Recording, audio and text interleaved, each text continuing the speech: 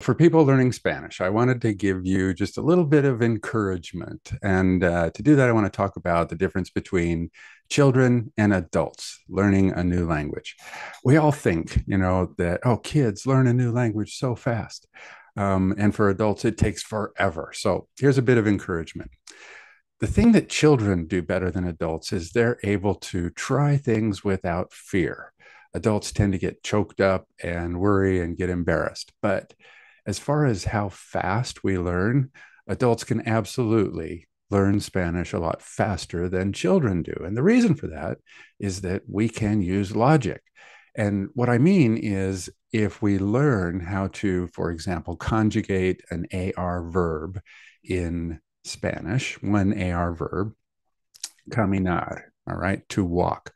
Um, if I learn how to conjugate that AR verb in Spanish, then I can use logic when I see a new AR verb that I've never seen before, um, nadar, to swim.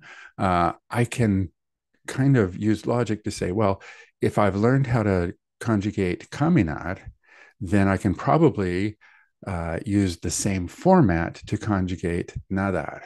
See what I mean? All right adults can use logic. And because of that, we can learn a language in a couple of years. All right. We can learn enough to Spanish to get around and, and have conversations in a matter of a few months. But we can really be successful if we apply ourselves in a year or two. Okay. Children, if you think about it, take years to learn a new language. All right. The second part of that is the idea that children, um, we think they learn fast because they're just not afraid to try anything. They just have no fear of making mistakes. So, the way that we address that here at ShareLingo is we pair you with Spanish speakers who are learning English. And it is so much easier for you to try talking in Spanish with somebody who is learning English.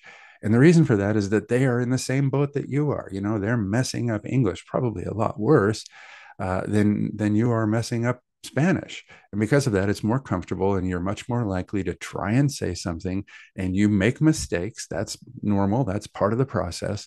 But that other person is right there to help correct your mistakes in a very non threatening way. I mean, you, you really feel like uh, every time they correct your Spanish, it's like, oh, thank you for helping me. All right. So I hope that helps dispel this myth that uh, children learn faster than adults.